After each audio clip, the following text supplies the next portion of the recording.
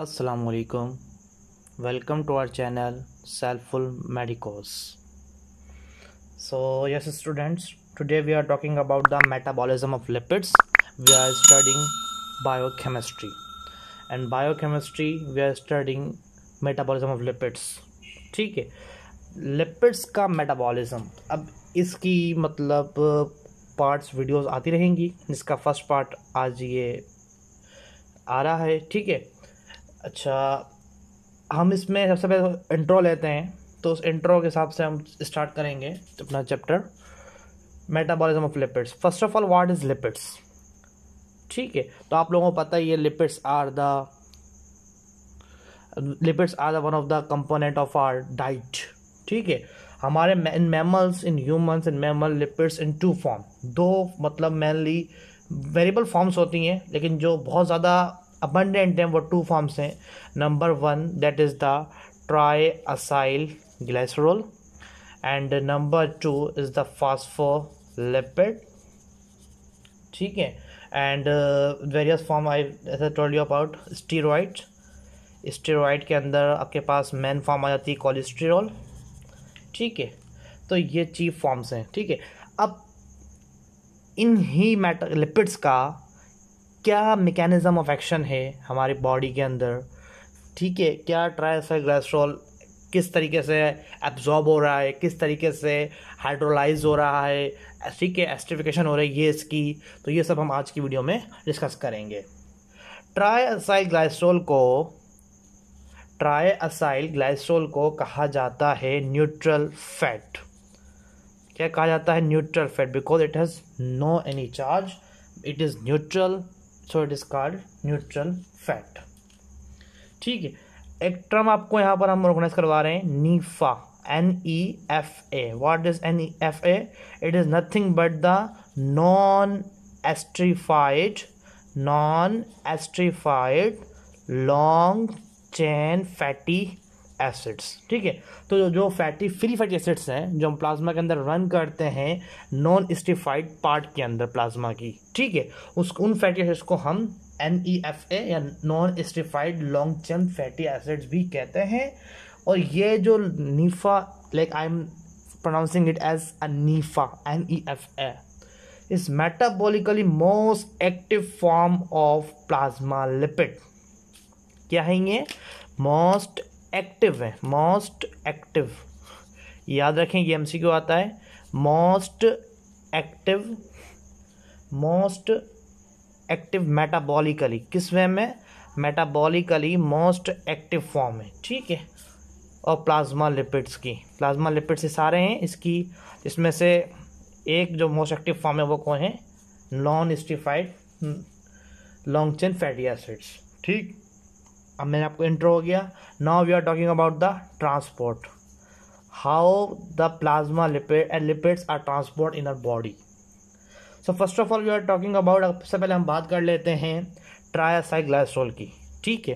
ट्रायासाइग्लाइसरोल आपको पता है कि एक हाइड्रोफॉबिक इन नेचर है, क्योंकि फैट सॉल्यूबल है। जो चीज़ फैट सॉल्यूबल होती है, वो हाइड्रोफॉबिक होती है। Means because hydro means water and phobic mean repellent repellent means to hate someone mean water से रिपेलेंट है। जब वाटर और आपको पता होगा, हमारा ब्लड सिर्फ़ उन ही चीज़ों को अलो करता है जो चीज़ वाटर सोल्यूबल हो। क्योंकि ब्लड इज़ वाटर लाइक आपको पता है ब्लड में सबसे मोस्ट कंपोनेंट किसका है?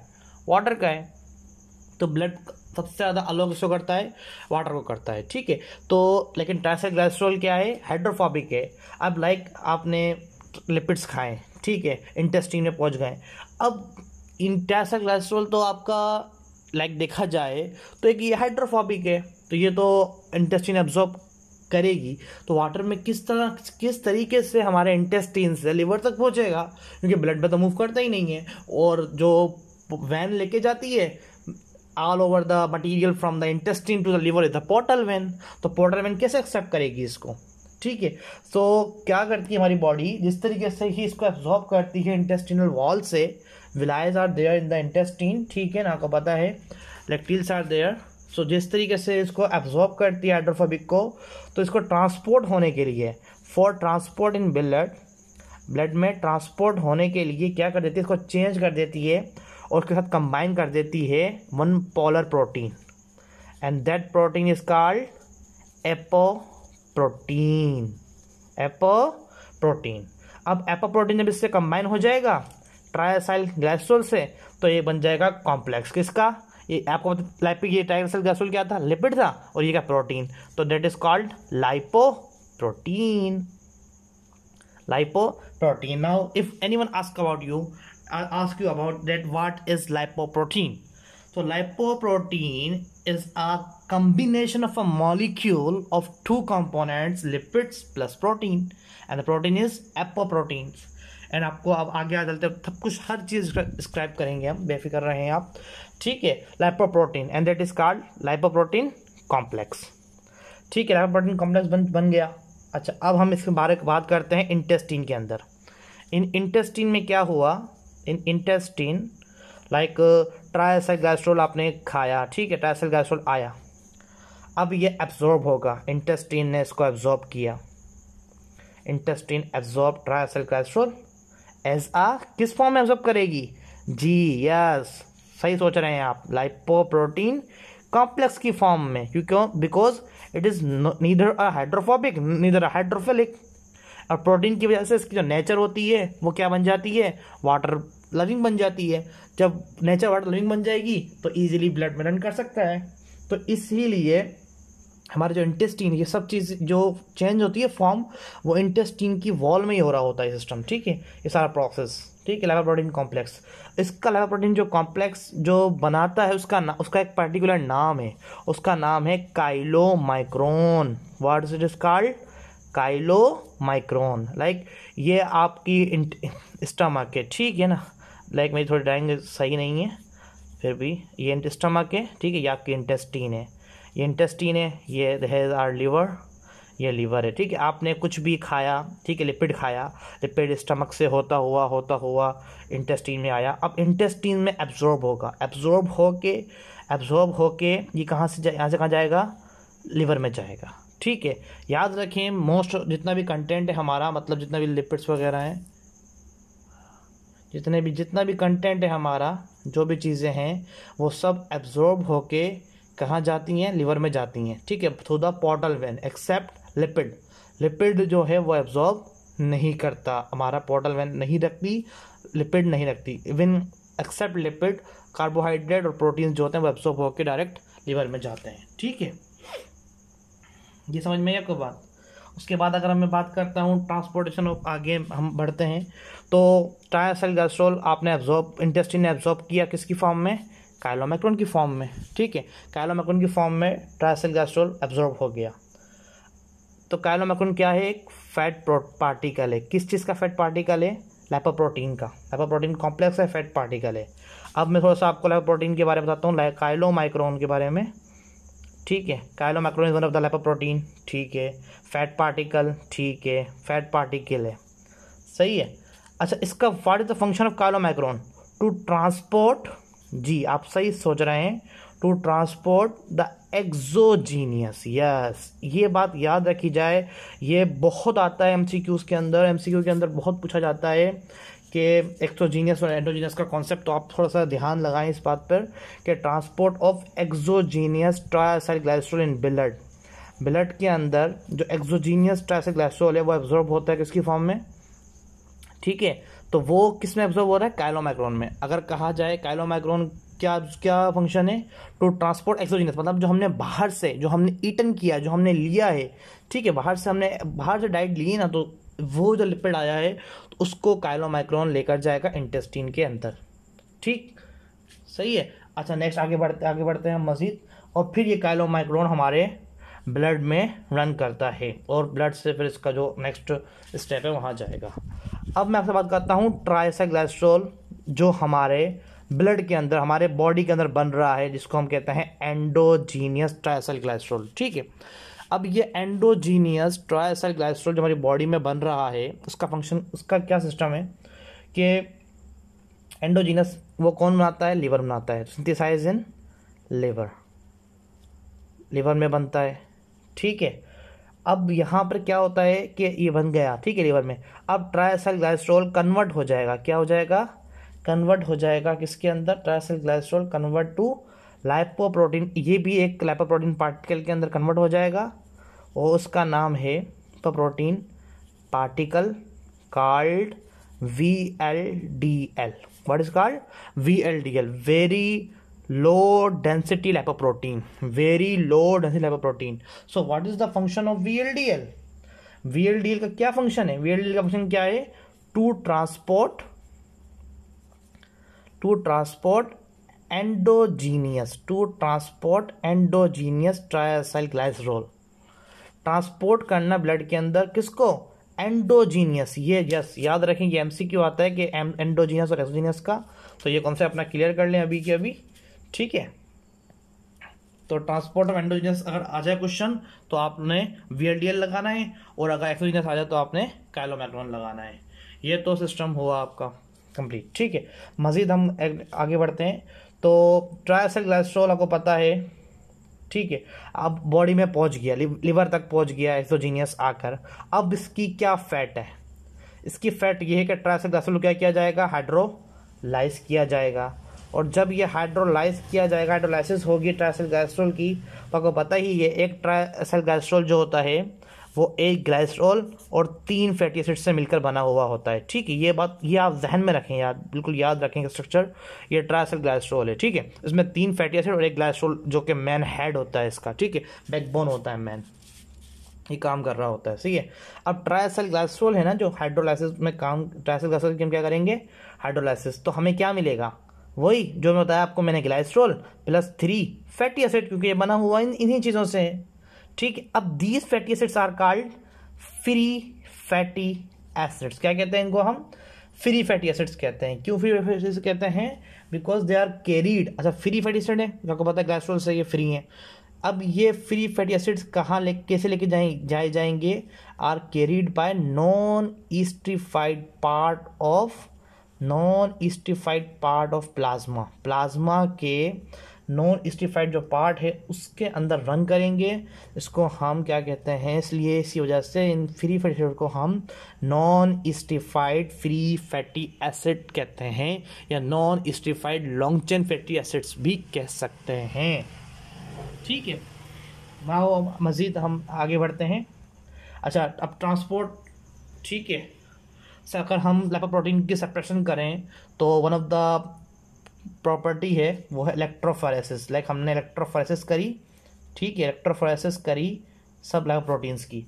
उसमें हमें पता लग गया कि लाइपोप्रोटीन्स हम जितने भी जो भी हैं हमारे पास, उनकी क्या क्या पोजीशंस हैं और कौन हाईएस्ट मूवर है, कौन लोवेस्ट मूवर है.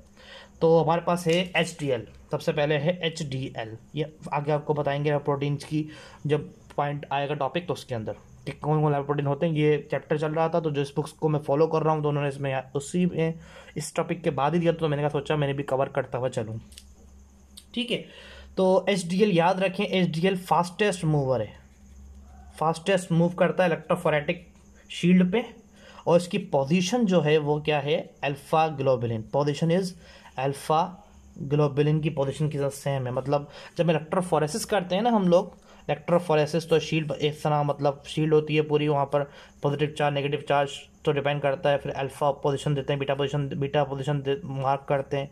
फिर जो भी प्रोटीन जिस तरफ़ जाता है, उसको वो नेम दे दिया जाता है। तो एच डी एल मूव करता है अल्फ़ा की तरफ़, इसलिए एच डी एल को नाम क्या दिया जाता है? Alpha lipoprotein so second name of H D L is alpha lipoprotein and after H D L we have L D L LDL L D L is the beta lipoprotein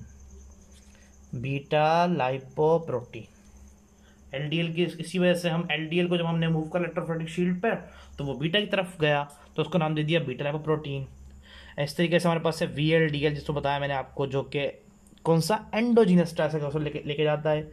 we L D L तो V L D L की position हमने क्या दी? Alpha to lipoprotein में गया था तो उसका नाम रख दिया एल्फा टू लाइपोप्रोटीन इस तरीके से हमारे पास है chylomicron one of the last lipoprotein slowest moving lipoprotein है। ठीक है? फास्टेस्ट कौन था?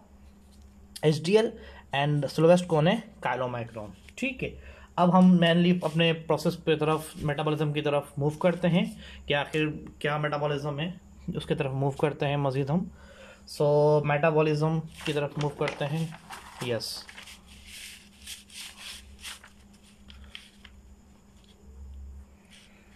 ट्राइसल ग्लाइस्ट्रोल लाइक मेटाबॉलिज्म में हम बात करेंगे ट्राइसल ग्लाइस्ट्रोल की, ठीक है? ट्राइसल ग्लाइस्ट्रोल के दो प्रॉपर्टी दो फ़ंक्शन हो सकते हैं। बॉडी में आ गया है। अगर बॉडी में मज़ीद चाहिए तो वो सिंथिसाइज किया जाएगा, या अगर बॉडी में एक्सीज हो जाएगा तो उसको हाइड्रोलाइज किया जाएगा, यानी कि तोड़ दिया जाएगा। सिंथेसाइजेशन को हम कहते हैं एस्ट्रीफिकेशन एस्ट्रीफिकेशन और हाइड्रोलाइसिस को इसको हम कहते हैं लाइपोलाइसिस ठीक है, अगर हमारी बॉडी बना रही है सिंथेसिस कर रही है किसकी? ट्राइसाइल ग्लाइस्ट्रोल की। तो उसको हम कहते हैं एस्ट्रिफिकेशन अगर हमारी बॉडी हाइड्रोलाइसिस कर रही है ट्राइसाइल ग्लाइस्ट्रोल की, उसको हम कहते हैं लाइपोलाइसिस ठीक है? So what is esterification sir मैं आपको बता दिया esterification synthesis of triacylglycerol synthesis of triacylglycerol आपको पता है कि जो ट्राइसल ग्लाइस्ट्रोल है, वो उसके सिंथेसिस उसको हम एस्टिफिकेशन कहते हैं। सो फ़र्स्ट ऑफ़ ऑल ये होती कहाँ पर है? साइट बताएँ। This is the one of the M C Q आता है कि एस्टिफिकेशन की साइट क्या है? Site is the adipose tissue मतलब एडिपोज जो हमारे टिश्यूज़ होते हैं, उसके अंदर एस्टिफिकेशन रन करती है। ठीक है? एस्टिफिकेशन आपको बताया मैंने आपको बताया कि एक जो हमारा ट्राइसल ग्लाइस्ट्रोल है, वो दो कंपोनेंट से बना हुआ है। ठीक है? किस किस से? या तो वो ग्लाइसोल से बना हुआ है ग्लाइसोल है और फैटी एसिड्स हैं। Free fatty acids free fatty acid fatty acids कह लें आप, ठीक है?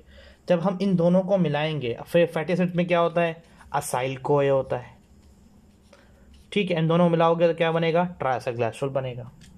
तो एक्चुअली एस्टिफिकेशन है यही कि आप असाइल कोए जो फ्री फैटी एसिड के अंदर पाया जाता है और ग्लाइसरोल ग्लाइसरोल इन दोनों को मिलाएँ और क्या बनेगा, उस बॉडी लाती है, उससे क्या बनाती है?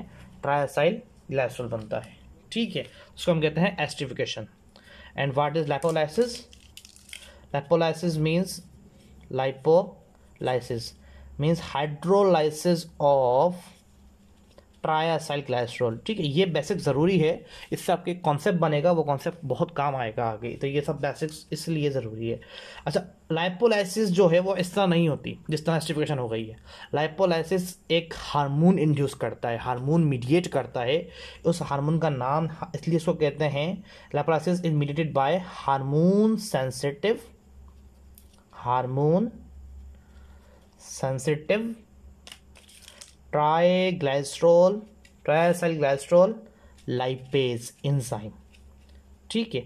Lipase enzyme that is the key regulating enzyme key regulating enzyme है ये लाइपोलाइसिस का, ये एमसीक्यू आता है। ठीक है? मैंने आपको अभी तक तीन एमसीक्यू बता चुका हूँ मैं। नोट डाउन कर लें, याद रख लें, ये काम की चीज़ें हैं, जो आपके प्रॉफ में आती हैं। ठीक है, अब आपने ट्रांसल कैप्सूल का फॉर एग्ज़ाम्पल हाइड्रोलाइसिस किया तो आपको क्या मिलेगा? दो चीज़ें मिलेंगी। वही फ्री फैटी एसिड मिलेंगे और ग्लाइसरोल मिलेगा। जी यस ग्लाइसरोल मिलेगा। ठीक है। अच्छा अब हम बात कर रहे थोड़ी सी इंजाइम के बारे में। तो हमारे पास थ्री टाइप्स के थ्री टाइप्स के लाइपेजेस हैं। थ्री टाइप्स के लाइपेसिस हैं एडिपोज लाइपेसिस सॉरी एडिपोलाइटिक या एडिपोज लाइपेसिस हैं।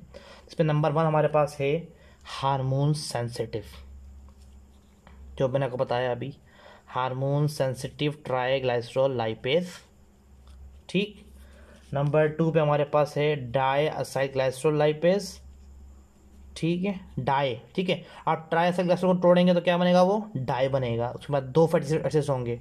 लाइक एक ग्लाइसरॉल है और दो फैटी एसिड्स हैं। और उसको भी अगर हम मज़ीद ब्रेक करेंगे तो हमारे पास क्या होगा? मोनो तो मोनो असाइग्लाइसोल लाइपेज ठीक है, अगर खाली ये एक ग्लाइसोल हो और एक फैटी एसिड हो तो उसको हम मोनो असाइग्लाइसोल कहेंगे। तो उसके लिए एंजाइम यूज़ किया तो उसका नाम है मोनो असाइग्लाइसोल लाइपेज ठीक है तो ये बात याद रखें कि टिशू के अंदर एक साइकिल चल रही है। Tissue in tissue there a cycle मतलब एक हमारी बॉडी के टिशू के अंदर साइकिल साइकिल चल रही है। और वो साइकिल कौन सी है? हमारी एस्टिफिकेशन एस्टिफिकेशन लीड्स टू मतलब एस्टिफिकेशन की और लाइपोलाइसिस की। ठीक है ये साइकिल चल रही होती है। लाइक like, एस्टिफ अगर अगर कंपोनेंट ज़्यादा हैं तो एस्टिफिकेशन मतलब फ्री फैटी एसिड ज़्यादा हैं या एक्यूमुलेट हो रहे हैं तो एस्टिफिकेशन हो जाएगी। ठीक है और अगर कम है तो लेप्रोसिस हो जाएगी। ये साइकिल हमारे पास बॉडी में टिश्यू में चल रही होती है। तो लेकिन जब याद रखें एक कंडीशन ऐसी आ जाए कि वैन रेट ऑफ़ जब जो रेट है when rate of esterification less हो जाए, ठीक है? रेट ऑफ़ एस्टिफिकेशन लेस हो जाए किससे? लाइपोलाइसिस से। जब एस्टिफिकेशन का रेट कम हो जाए लैप्लासिस से और लैप्लासिस ज़्यादा हो जाएगी। लैप्लासिस ज़्यादा होगी तो हमारे पास मोर फ्री फैटी एसिड्स होंगे और मोर फ्री फैटी एसिड्स होंगे तो वो फैटी एसिड क्या होना लग जाएँगे? अक्यूमिलेट होना शुरू हो जाएँगे बॉडी के अंदर। और डिफ्यूज़ हो जाएँगे प्लाज्मा में diffuse into plasma and then increases the level of free fatty acid और फिर अगर आप अपना ब्लड टेस्ट करवाएँगे सीरम टेस्ट करवाएँगे लिपिड का तो उसमें आपका फ्री फैटी एसिड इंक्रीज जाएँगे। ठीक है? अगर वो साइकिल थोड़ी सी हमारी डिफेक्टेड हो गई है तो। हार्मोन की सिक्रेशन ना होने की वजह से भी हो सकता है। बहुत किसी ड्रग की वजह से भी हो सकती है। दे आर मेनी रीजंस ठीक है? एडिपो अब हम बात कर रहे हैं एडिपोज टिश्यू मेटाबॉलिज्म मतलब एडिपोज टिश्यू का क्या मेटाबॉलिज्म है? Adipose tissue metabolism in diabetes mellitus and starvation के अंदर। मतलब स्टारवेशन और डायबिटीज़ में एडलाइटिस के पेशेंट के अंदर एडिपोज टिश्यू का क्या मेटाबॉलिज्म है? लाइक like, आप स्टारवेशन की बात करें या डायबिटीज़ की बात करें, आपको पता है डायबिटीज़ डायबिटीज़ मतलब ब्लड के अंदर ब्लड के अंदर ग्लूकोज बढ़ जाना और सेल्स और टिश्यूज़ के अंदर ग्लूकोज लेवल कम हो जाना। इसको मतलब अगर मैं इन नटशेल बात करूँ डायबिटीज़ मेलाइटस को तो ये समझ में आती है बात मतलब सेल के अंदर ग्लूकोज नहीं आया, क्योंकि इंसुलिन रिसेप्टर नहीं वर्क कर रहे होंगे। जब सेल में ग्लूकोज नहीं आएगा और स्टार्वेशन में भी ये होता है कि सेल को कुछ सेल के पास ग्लूकोज नहीं होता इन्हें यूज़ अप करने के लिए, ठीक है? तो इन दोनों कंडीशन में क्या होगा? ग्लूकोज नहीं होगा डिक्रीज होगा तो सेल ग्लाइकोलाइसिस स्टॉप हो जाएगी क्योंकि सेल के पास ग्लूकोज है ही नहीं। ग्लूकोज जब ज़्यादा होता है ग्लाइकोलाइसिस ज़्यादा बढ़ाता है सेल क्योंकि ग्लूकोज को यूज़ अप करने के लिए, ठीक है ना? तो याद रखें कि जब जब ग्लूकोज कम होगा सेल के अंदर, ठीक है? I am talking about the cell और टिश्यू ठीक है? तो ग्लाइकोलाइसिस भी कम होगा और ग्लाइकोलाइसिस जब कम हो रहा होगा आपका तो जो प्रोडक्ट ग्लाइकोलाइसिस की आखिर में बनती है जो अल्फ़ा ग्लाइसिरोल फास्फेट जी वडागे ग्लाइसिरोल का, यही बता रहा था इसको हम जी थ्री पी कहते हैं हम, ठीक है? तो वो भी कम बनेगा। जब जी थ्री पी और ग्लाइसिरोल वाला ये कम बनेगा, ठीक है? जब ये कम बनेगा ग्लाइसिरोल फास्फेट कम बनेगा तो मुझे बताएँ, क्या ये मीटअप मीटअप कर लेगा फ्री फैटी एसिड के साथ? नहीं। फिर एसिड हमारे पास for example greater than nine thousand है, ये तुम्हारे पास लेस है। तो फिर एसिड बहुत ज़्यादा हो जाए एक्यूमुलेट हो जाएँगे बॉडी के अंदर। तो ऐसा रिज़ल्ट क्या होगा? इसलिए डायबिटिक मेडल पेशेंट जो होते हैं, उनकी बॉडी में उनके जो वेसल्स होती हैं, उनमें फैटी फैटी क्या होते हैं? अक्यूमिलेट हो जाते हैं कीटोन बॉडी की फॉर्मेशन में चले जाते हैं। ठीक है? समझ में आ गया? अच्छा नेक्स्ट हम वीडियो बड़ी तो नहीं हो गई है? नेक्स्ट पार्ट में करें? यस यू कंटिन्यू करें। बस थोड़ा सा पार्ट है, सुन लें। इशू नहीं है अच्छा नेक्स्ट हमारे पास है। थोड़ा सा मेटाबॉलिज्म है।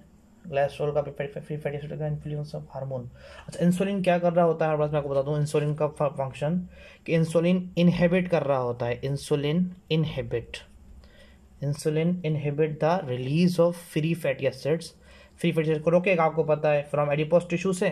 और प्लाज्मा के अंदर फ्री फैटी एसिड लेवल का कम कर देगा। मतलब किसी पेशेंट को अगर मतलब अगर हम देखा जाए तो डायबिटीज़ जो पेशेंट होते हैं क्योंकि उनके इंसुलिन डेफिशिएंट है, जब इंसुलिन डेफिशिएंट है तो इंसुलिन क्या कर रहा होता है? फ्री फैटी एसिड लेवल कम कर रहा होता है। तो ये काम नहीं होगा। तो डायबिटिक पेशेंट में फ्री फैटी एसिड लेवल बढ़े हुए होते हैं इसी वजह से। ठीक है? ये इसका रीज़न था। सही है?